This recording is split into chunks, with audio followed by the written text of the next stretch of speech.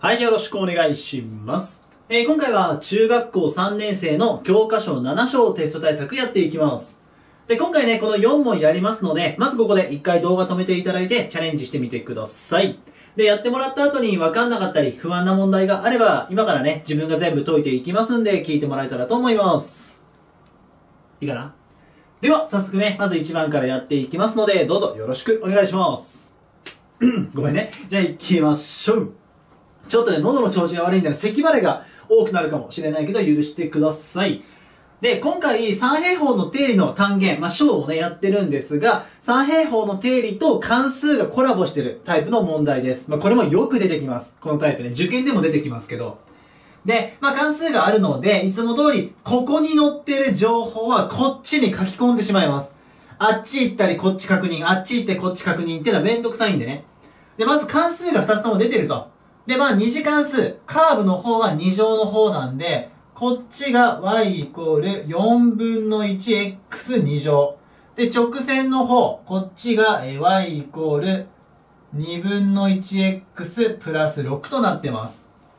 で、まあ、使うかどうかわからないですけど、直線の式が書いてあったり、まあ、自分で求めることができたら、切片のところは書き込んじゃいましょう。ここ、y 軸とぶつかってる切片の部分は、このプラス6、後ろの数字が対応するので、ここ6ね。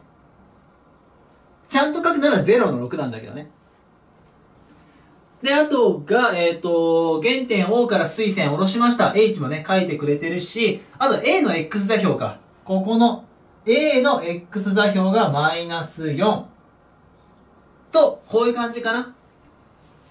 で、今回は丸1番がね、ちょうど A の座標を求めなさいなんで、まあ、そのままやってしまうんですけど、自分はこういうね、関数の問題の時に、片方、X 座標だけとかが与えられてたら、もう反射的に計算します。こっちで求めろって言われてなくても、だって使うから、大体。で、どう求めるかっていうと、A に関しては、この二次関数も直線、どっちも上に乗ってますよね、こうやって。座標が上に乗ってるんだったら代入 OK です。つまり、この X のところ、こっちでもね、構わないですけど、マイナス4を代入すれば Y が求められます。例えば、こっち入れると、Y イコール4分の1かけるこれの2乗。マイナス4かけるマイナス4、2乗ね。だから、16です。プラスになります。つまり、4分の16、約分すると4ってね。あ、これこうなる。もちろんこっちに入れても、2分の1かけるマイナス4、約分するとマイナス2、マイナス2プラス6だから4になるからさ、まあどっちでも構わない。で、A が求まる。で、それがまあ一番答えなんでね、今回書いちゃいましょう。一応 A って書いとくか。今回ね、多分板書結構ね、詰まっちゃうかもしれないんで、あの、早送りした方がね、見やすいように、ちょっと書きますわ。A は、マイナス4の4と。これで1番、まず OK ですね。で、2番です。今度 B を求めます。で、B は X 座標も Y 座標も書いてないので、今みたいに代入して求めることができません。じゃあどうするかっていうと、この B、まあ A もそうなんだけど、こいつは二次関数と直線の交点なんだよね。交わった点。交点っていうのは連立方程式すれば絶対解くことができます。だから連立する。これとこれをね。で、えっ、と、まあ、y イコール4分の 1x2 乗なので、代入法を使ってもらって、この y のとこに4分の 1x2 乗入れちゃいます。そうすると、これ2番ね。4分の 1x2 乗イコール2分の 1x プラス6と。で、この部分が、うん、よくわかんないってなっちゃう方は、普通に連立方程式、これとこれを並べてください。並べて、上から下を引き算すればこれになるから。まあ、ちょっとまとめた形はずれるけどね。で、これはまず分数俺嫌なので、全体に4かけます。そうすると、x2 乗イコール 2x プラス24。この6にもね、忘れずにかけてください。で、全部左辺持ってきます。左側に持ってくると、x2 乗マイナス 2x マイナス24イコール0となってる。まだ入るか。で、これ二次方程式なんで、このパターンですね。かけてマイナス24。足してマイナス2になる数字のコンビを探します。で、24っていうのはもともと 1×24 とか 2×12 とか 6×4 とかがあるんですけど、まあ、83もあるか。ここは6と4でいきましょう。6と4。で、こっちマイナス、こっちプラスにすれば、かけてマイナス24だし、足してマイナス2になるから OK だと。だから、これの答えは x イコール6とマイナス4となりました。で、これが何を表してるかっていうと、今、二つ連立方程式しましたよね。直線とカーブの。それの交点の x 座標が6とマイナス4ですよって。なんで2個あるかって、交点は b と a の2箇所あるからね。二つ交わってるから。で、マイナス4っていうのはここでしょ ?a のことです。だから b の方は6です。いい？で、え、x 座標が6っていうのが分かったので、まあ、さっきと同じです。どっちでもいいから。x 代入して求めれば、x 座標は6で、y 座標は9と。ここに x 入れてもいいし、ここに x 入れてもどっちでも9になりますんで、これで OK となります。で、求めたので、すぐに書き込んでおきましょう。いいかな？で、3番です。これ、入れたかったな、ここね。ちょ、入んなかったけど。じゃあ3番いきましょうか。ここでいいかな？で、3番が、えっ、ー、と、三平方の定理を使うね、問題とかここになるんですけど、AB の長さ求めたいんです、ここ。まあ、斜めの部分ですね。で、この求め方なんですけど、ちゃんと三平方の定理を使った説明を一回します。一回ね。で、なんでかっていうと、本当はそれもやんないで暗記してほしい技があるんで、そっちでやってほしいんですけど、えっ、ー、と、この斜めを求めるために、この A から真横に線を引いて B から真下に線を引いて直角三角形を作ります。で、その真横に引いた部分とまっすぐ縦の部分の長さをそれぞれ求めようと。で、それがいくつかっていうと、まず真横の部分、図からね、判断するんだったら、ここは6です。なぜなら、6の9。あ、ごめん、こっちはこうだ。6の9だから、右側6進んでると。つまり6ね。で、A はマイナス4の4って書い意味なる。マイナス4の4なんで、左に4進んでる。長さにマイナスないからね。長さマイナス4じゃなくて4です。つまり、6と4なんで合わせて10だよっていう。横の長さは。で、縦の長さはって聞かれたら、上が9なの、ここ。高さ9。から、A の高さが4だったから、9から4を引いた残りの5だよっていう。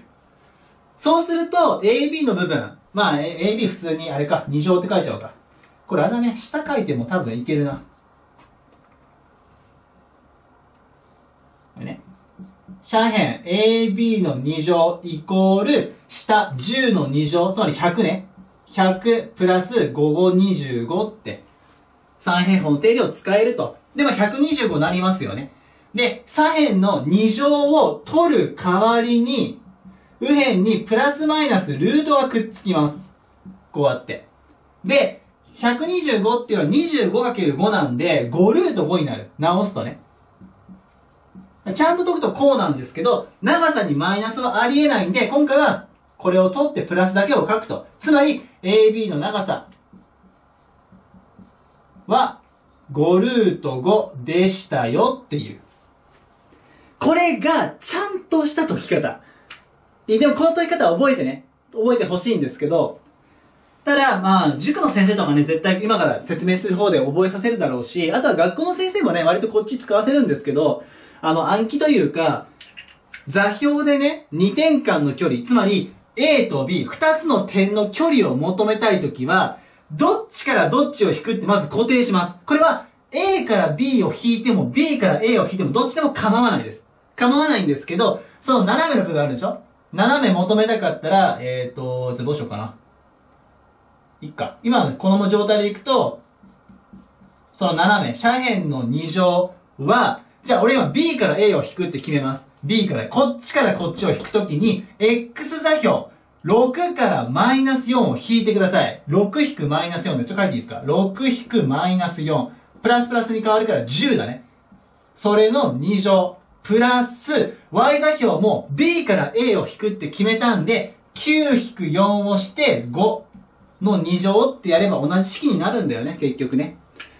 三角、えっと、直角三角形書いて、ここがいくつだからっていう時間がかからないので、ぜひこっちで覚えてください。もちろんこの図が元なんだよっていうことは覚えててほしいんですけど、いいかな？大丈夫？で、あとは4番ですね。ちょっと4番がめんどくさいというか、難しいですね、ここの中では。えー、OH の長さを求めたいと。で、OH を出すために、ここはね、ちょっと補助線が必要なんですけど、この三角形 OAB について考えていきます。なぜかっていうと、OH がさ、三角形 OAB の高さになってるんだよね、ちょうど。こう90度になってるから。底辺 AB、高さ OH ってできる。つまり、三角形 OAB は、底辺今 AB ちょうど出したでしょ ?5 ルート5。だから、5ルート5かける、まあ OHX って置いてもよかったね。まあいいか。OH かける三角形なんで忘れずかける2分の1と、こうなります。いや、まあ、このまま置いとこうか。で、じゃあ三角形 OAB って他の方法で求めらんないかなって。AB を底辺にして高さ OH 以外で求めらんないかなって考えるといけるんだよね。で、どういくかっていうと、普通、こういう関数の三角形の面積求めるときは、X 軸か Y 軸で切ります。いい斜めなってるときはね。で、今、Y 軸でここで切るの。一般的な解き方は。で、左側と右側に分けて計算します。なぜかっていうと、まず左側行こうか。ここを底辺にすれば高さはここになるんです。つまり底辺最初6っても出してるしね。あの、ここの切片と同じだから。で、この高さは座標がマイナス4の4ってやったから、ここマイナス4。つまり長さ4でしょ底辺6。だからもう一個ね。三角形。まあ、OA、OAB 出そうとするからまとめて書いちゃおうか。まず左側。底辺6かける高さ4かける2分の1。これが左側ね。そいつ足す底辺6。で、高さは今度ここです。右の三角形は。これも6の9って分かってるから高さ6。で、かける2分の1とやればいい。で、こっちは文字が入ってないから計算できるんだよね、全部。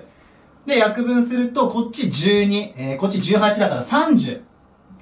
と分かりました。で、両方とも三角形 OAB だから、当然、上のこの式と30は同じになる。つまり、5ルート5かける OH かける2分の1イコール30という式が成り立つので、あとはこれを解いて終わりです。で、解き方は一気に言ってもいいんですけど、ちょっと順序を追っておこうか。まず2分の1邪魔なんで両辺2をかけてこうしちゃいましょう。かける書いとこうか。で、えっと、5ルート5で割ります。OH イコール5ルート5分の60。先に有理化しても構わないんですけど、自分ちょっと先に約分しちゃいますね。約分して12。で、ルート5分の12になってて、分母にルートがまずいんで、有理化のために上と下にルート5をかけますと。そうすると、ルート5かけるルート5は、同じルートをね、かけるとルート外れるので、5分の12ルート5となって、これで終了となります。えー、書きたかったなここ。ここでいいか。あ、いいか、かけるか。待ってね。5分の12ルート5。これ OH ね。一応こっちも線引とこう。という感じになります。まあ、4番はちょっと補助線が入る分ね、難しくはなるんですが、えー、3番までは、えー、数学が苦手な方もね、復習してもらって自分の力でぜひね、解けるように練習しておいてください。では、今回はね、この4問やらせていただきました。今回の授業はこれで終わります。以上です。ありがとうございました。最後まで授業を聞いてくれてありがとうございました。え今表示されている動画や再生リストの方から他の勉強内容だったり、あとはテーマを決めて喋ったものに飛ぶこともできますので、よかったらそちらも見てみてください。また、チャンネル登録や高評価していただけると励みになりますので、よかったらよろしくお願いします。では、またね、次回の動画で会いましょう。お疲れ様でした。